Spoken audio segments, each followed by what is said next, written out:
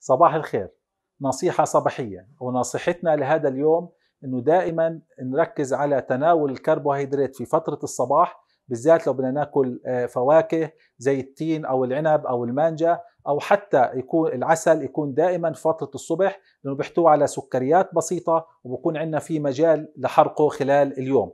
ونحاول أن نبتعد في في فترة العشاء على تناول هذه الفواكه لأنها ستحول إلى إلى دهون وممكن تسبب زيادة بالوزن إذا أفرطنا في تناول مثل هذه الفواكه.